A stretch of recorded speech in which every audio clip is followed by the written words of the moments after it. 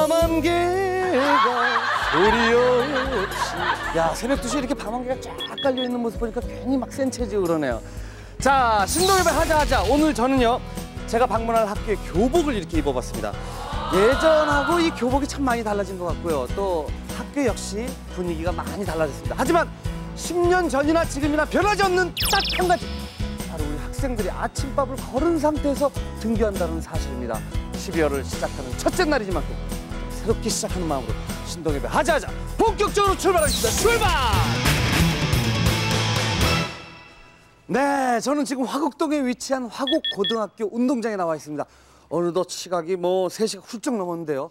선생님을 모셔보겠습니다. 어서 오세요. 아이고, 선생님, 안녕하세요. 예. 어떻게 해가지고 2학년 9반 학생들한테 이렇게 맛있는 아침밥을 차려주시려고 신청을 하셨어요? 그 공부에 대한 부담 때문에 해외로 유학 가려는 그런 학생들도 있어요. 유학을 가려는 학생들이 아, 실제로 그렇게 많아요? 저희 반에도 그런 학생이 있어요. 그래서 학부모님하고 면담도 했었는데 여기서 공부하는 것이 너무 힘들고 아침밥을 또 못 먹는 우리 교육 현실이 항상 마음에 남아 있더라고요. 야 사실 그 어느 나라 가더라도 선생님께서 학생들 아침밥 차려주는 나라가 우리나라밖에 더 있겠습니까? 한편으로는 좀 뿌듯하긴 하지만 또 한편으로는 좀 씁쓸하네. 아마 이걸 보면 아이들이 뭐 유학 갈 생각을 좀 접지 않을까 저는 이런 생각이 드는데 세계에서 유일무이한 우리나라밖에 없는 밥차를 소개하겠습니다. 밥차! 아, 밥차의 이 당당한 모습이 어서 오세요, 어서 오세요. 아이고, 아이고.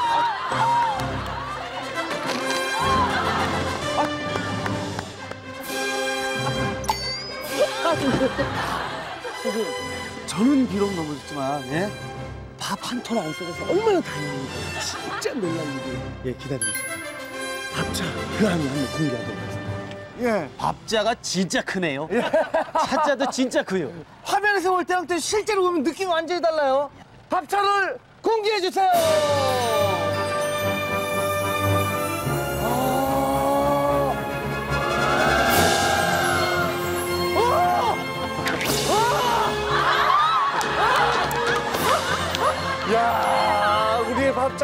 밥차돌이가 시킵니다. 이 소감은요 보통 소가 아닙니다. 그 유명한 대관령 소주에서도 이름하여 샘소, 샘소, 샘소 뜻이 막 우유가 계속 나옵니다. 계속. 아, 소 젖에서 그냥 갓짠 지금 이게 우유거든요, 우유. 예, 약간 비릿한 맛이 나긴 하지만은 한번 좀 드셔보실래요? 먹을까요? 예, 예, 예, 예. 그 우유를 젖을 야, 이거 아, 이 좀 너무하신 거 아니에요? 아, 이거 제가 입을 대니까 뗄 수가 없네요. 그 정도예요? 너무 맛있어요.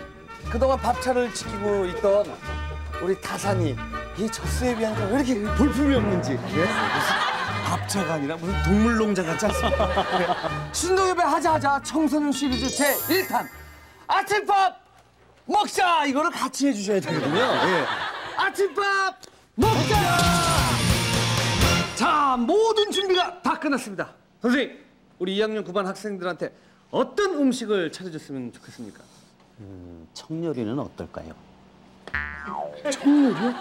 가장 기억에 오래 남고 친구들끼리 정을 가장 많이 나눌 수 있었던 곳이 사실은 중국집이었거든요. 저희는 뭐 중식, 양식, 한식, 일식 뭐 뭐든지 다 할 준비가 돼 있으니까 전문가가 항상 대기하고 있습니다. 중국 음식의 대가 여경옥 선생님을 모시겠습니다. 어서 오세요. 你好， 어, 你好吗?你好，你好啊！你长得好帅呀！啊，最近我看你入了学校，这个龙都来了啊！你过得怎么样？ 아이 제발 좀 그만 좀 하세요. 만나서 반갑다는 얘기예요. 예? 한국말로 하죠.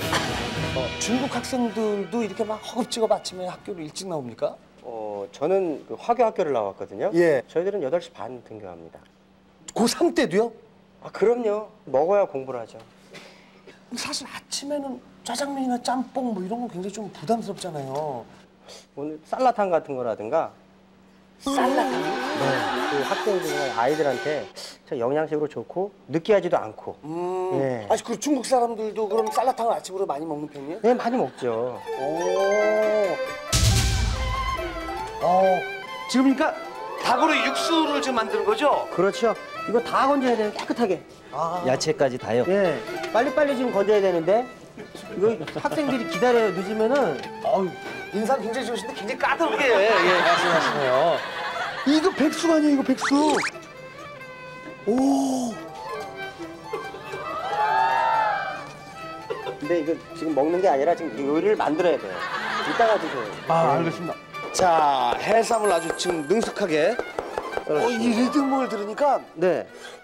이 쌀라당이 내가 굉장히 유명한 요리인 게 지금 생각이 났어요. 생각났어요? 에브리 살랄랄라 아, 기억나시죠? 예. 살랄랄랄라 살랄랄라 불 켜고 빨리 적어줘야 돼요. 달라붙으니까. 와, 이제 그만 돼요. 예. 아니 왜냐면은 태어나서 이렇게 큰 가마솥에 음식을 담아가지고 제가 이렇게 저어보긴 처음이거든요. 아 이게 끓여보니까 데치는 거니까 그냥 금방 데치는 거군요, 그렇죠? 그렇죠. 금방 넣다 빼는 거네요. 국간장. 간장. 자, 이렇게 해서가지고요. 이거를 계란 흰자만. 네. 서서히 잘 절여주면은 저 이거 먹어본 적 있어요. 굉장히 비싸더라고요. 근데 이거를 저 시켜줬거든요. 그거랑 지금 모양이 똑같아서 한번 제가 맛을 본 다음에 한번 예. 예, 그건지 아닌지.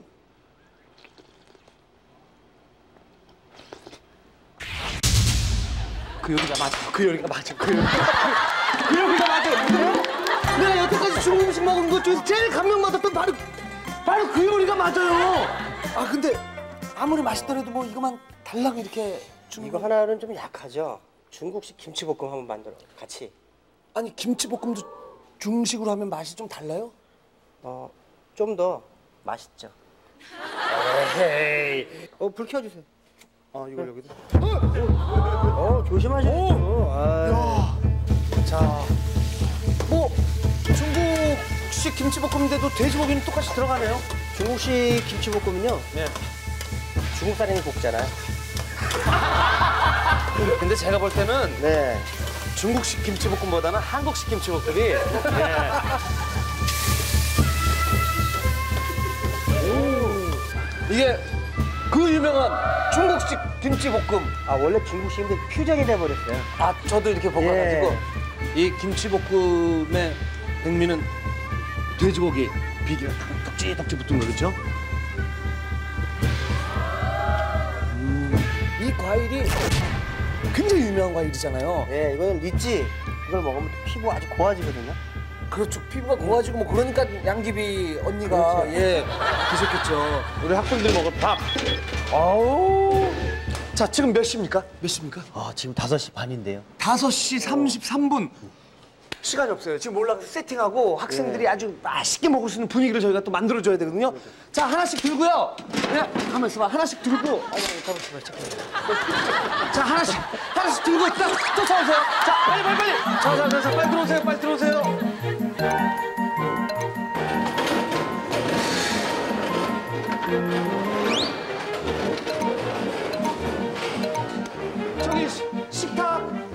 식탁 좀 만들어 주세요. 먹는 사람 입장에서 왼쪽부터 오이, 무, 과일 이렇게 차례차례 놔주셔야 돼요. 젖소에서 짜낸 그 우유, 우유, 우유 좀 빨리 채워주시고 물도 채워주시고요. 드디어 2학년 9반 식탁이 완성되는데요. 마치 뭐라 그럴까요? 그 상하이에 정박한 호화 유람선의 식당이 아닐까? 예? 비록 가보지는 못했지만 그런 분위기가 굉장히 흡사합니다. 단지 음, 그냥 보여드릴 순 없고 이제부터 안전한 상태에서 예 여러분께 2학년 9반의 식탁을 공개하도록 하겠습니다. 불을 꺼주십시오. 2학년 9반의 식탁을 공개하겠습니다.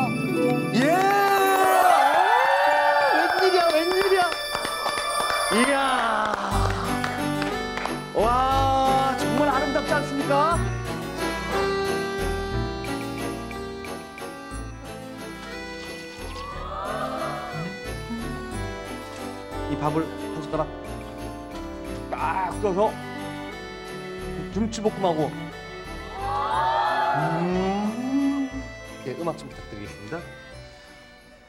에비 샤라라라 샤라라라 음 샬랄랄라.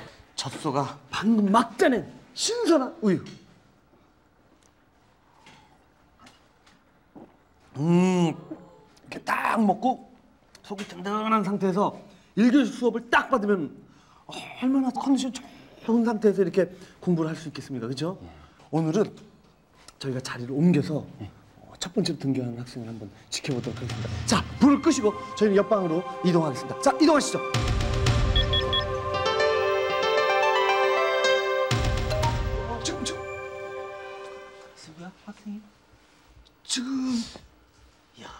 벌써 등교하는 학생이 나타났어. 어, 지금 벌써. 저희 원 회장이에요.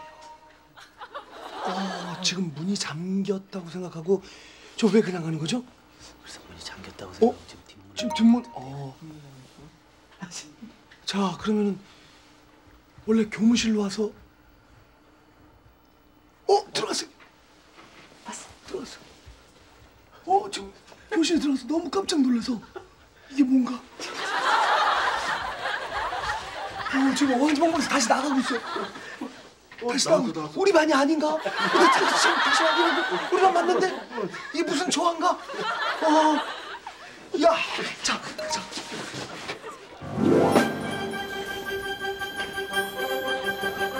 전혀 없어도?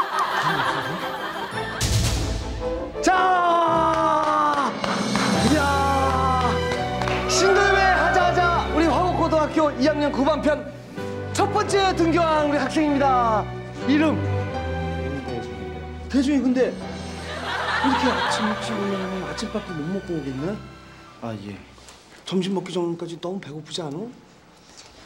배는 고픈데요. 그냥 어쩔 수 없이 왜 어쩔 수 없다고 생각해? 부모님 깨워갖고 아침을 차려달리기가 좀 뭐하고 그래갖고 이야, 우리의 쌀라탕. 대준아 맛있게 먹어. 잘 먹겠습니다. 아유. 무서워. 야, 이! 어쩜? 야, 아이고, 아이고, 귀시려가지고. 어저께 밥 먹었어, 안 먹었어? 안 먹었어요. 오늘은 안 먹었어요. 밥안 먹고 학교 왔을 때 1, 2교시 수업 받으면 어때? 그냥 자는데. 아, 너무 졸려. 졸립고 배고프고. 예. 이야. 아 니 지금 왜 들어왔다고 왜 나갔어? 아이고, 황당하죠. 어? 뭐가 황당해? 아이, 뭐예요, 이게? 어? 아침밥이요? 안 먹고 오는데. 어? 안 먹고 그냥 나와요. 맞지? 그냥 씻고요. 차 시간 맞추려면 그렇게 나와야 돼요. 차 시간 맞추려면은 왜 그렇게 나 나오면 그냥 아침에도 빵 사 먹고. 들어와 이 녀석아! 야, 너뭐 지금 땀을 흘리고 온 거 아니면 세수하고 온 거야 뭐? 회사 왔는데. 세수를 왜 학교에서 했어? 졸려갖고. 졸려가지고 일어나자마자 곧바로 온 거야? 네. 밥 먹고 왔어 못 먹고 왔어? 못 먹고 왔는데. 아니 아침밥 못 먹으면은 이 체격을 어떻게 유지해? 어, 어, 들어와 들어와 들어와. 우리 한성이는 일어나자마자 그냥 지금 막 온 거고 우리 종식이 종식이는 일어나자마자 일단 머리에 무슨 바른 상태에서 어떻게 한 공기 다 먹고 왔어? 아니, 국 좀 또 먹고. 왜 밥을 안 먹고? 해? 살 빼려고. 살 빼려고? 큰일 나, 큰일 나. 니네들 한창 성장할 때인데 벌써부터 살을 빼려고 다이어트 하려고 지금 음식을 안 먹으면은 이게 뇌에도 문제가 생기고 그다음에 발육에도 문제가 생기고 살 빼지 마, 살 빼지 마. 좋아, 지금 보기 좋아. 화교들도 교육률이 참 대단하거든요. 예. 근데 아침에 이렇게 밥도 못 먹을 정도로 등교하거나 일찍 일어나거나 그러진 않거든요. 예. 진짜 오늘 정말 놀랐어요. 참 웃음밖에 안 나와요. 이야. 제가 장담하건데 태규는 아침밥을 먹고 왔습니다. 이게 아침밥 안 먹고는 피부가 이렇게 팽팽할 수가 없고. 야 이거 보세요. 지금 밥도 깨끗이 볍고 쌀라탕도 깨끗이 볍고 심지어 너 이 우유가 어떤 우유인 줄 알고 다 먹었니? 야, 이 녀석.